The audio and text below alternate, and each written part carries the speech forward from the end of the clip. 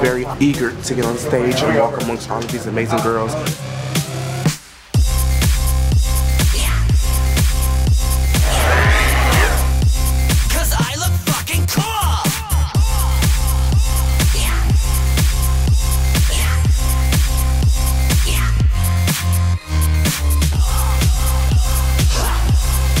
Welcome to my fantasy.